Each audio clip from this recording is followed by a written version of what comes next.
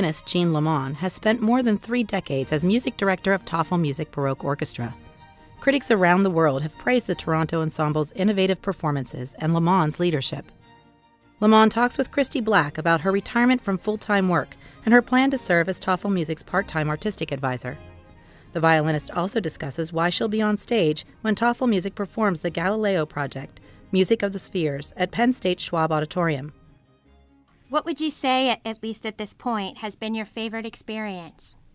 Well, I think one of my favorite experiences, there are so many. In 33 years, it's hard to say to choose one. But one of them definitely has been um, the performing of the Galileo project, which we're taking to Penn State, which we have toured more than any other program in our history. It's taken us literally around the world. We've we've performed it in in Kuala Lumpur and in um, you know all over Asia in Ch- China and Japan and and um, Australia and New Zealand and all over North America. So it's pretty pretty exciting. We have done it so much and we love doing it so much. It's the first program we ever learned entirely by heart. Wow. Um, as an orchestra.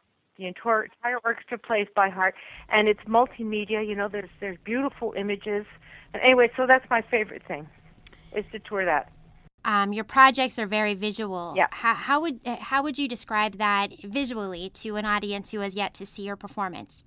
For sure, I would say that it's a concert, but it is equally um, a visual treat, and the images are of ast- or astronomical images, for example, from the Hubble spacecraft, or images from Galileo's books that he wrote on astronomy, and it's so interesting because they're so accurate. Um, you know, those are also mm-hmm. up um, in the um, show, and uh, so it's just all very visually rich um, and musically wonderful music. And um, there's an actor who sort of ties it all together. The actor is uh, moves amongst the musicians and and the images, and just basically makes the whole thing hold together in a very beautiful way and it's just a beautiful experience from all aspects. Well, and, and you touched on this a little bit, but there's almost a choreography uh, with the musicians um, and, and a lot of movement on stage, or at least for different numbers. I, I think that's really unique to Tafelmusik. It is unique, and it only works because we know everything by heart.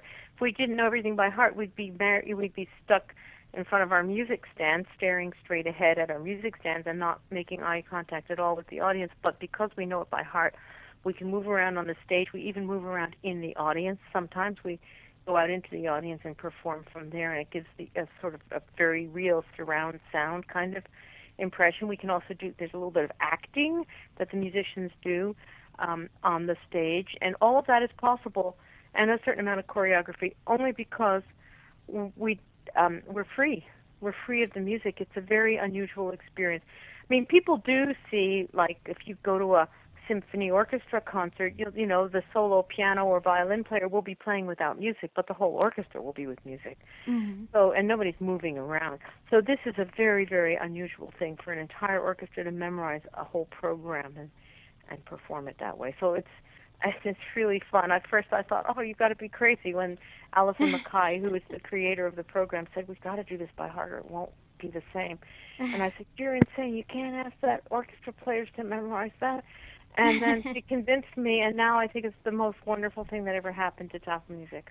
I know as a violinist, and a beautiful violinist, by the way, um, you also perform with the orchestra. Will you continue to be on tour at times? I will be on this tour. I will be on some of the tours, like for example the Memorized Program tours, because we now have the House of Dreams Galileo, and we're developing a third one. So those programs, because I have memorized it, it's not so easy to just replace somebody because mm-hmm. at the mm-hmm. last minute, for example, because right. nobody knows it by heart, but the people who, the, you know, that specific core of musicians who learned it. Um, so I will be doing some touring this year. I'll be doing most of the touring because most of it is uh, related to those programs, and uh, so I'll be there at Penn State, and I'm very much looking forward to that. There is a, a worldwide search right now to fill your position, from what I understand. Um, yep. But you talk a lot about how everyone is so in sync with each other. Is there anyone within Tafelmusik who may be ready to step up and take over as music director?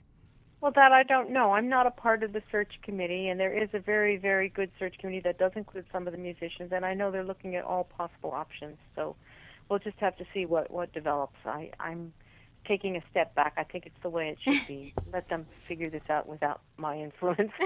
so, so I can't really answer that. What are your thoughts on how music performances have evolved for today's audiences? Well, I you know, there still are many people who go to concerts and enjoy them. So I don't think that the concert experience is dead. And if they tend to be older people, that's probably because older people have more time and money, um, and want to do less active things like you know run around and go skiing and running marathons, and they'd rather sit and listen to music. So I don't think that's all a bad thing. But I think also programs that's on the one hand, and on the other hand, I think it's important that we, the performers, the creators of the concert experience, experiment with new formats and new ways of performing concerts and new ways of having the audience participate rather than always be the passive listener. And I think the Galileo project is a very, very good example of how it can we can change as performers the concert experience without compromising the quality of the music making. You don't just have to play pops concerts, which is what some symphony orchestras resort to when they want to fill the seats. They think, oh, the music's too difficult for people. We'll play pop tunes. We'll play Beatles tunes, you know, arranged mm-hmm. for symphony orchestra. And that kind of, I don't believe that that is the solution. I believe dumbing it down is is not the way to go. I think people just want to feel more of a part of it, and they and the multimedia is a great idea. Mm-hmm. And we we also at home do some uh, we play in pubs, and we have for young people like so we we have these pub nights where people can drink beer and sit around at tables, and we play. But we don't play pops. We play mm-hmm. real music, and we play it as well as we can, and we talk about the music, and they love it. That's people a great idea. Love it. So you know there are ways of doing it that don't, as I say, dumb it down. And I'm just not a big fan of pops being the solution for these things. I just don't think that's the way to go because I think that the music is powerful and very and the music that we're playing. And, and if you're playing great music that's that in and of itself is almost enough. But then you just need to figure out how to make it relevant without dumbing it down. So I think we're, we're the Galileo project is a if anybody is really interested in alternative ways of presenting classical music to people then they should come to this Galileo concert because it will blow their minds Experience Tafelmusik Baroque Orchestra's The Galileo Project, November 5, 2014, at Penn State Schwab Auditorium.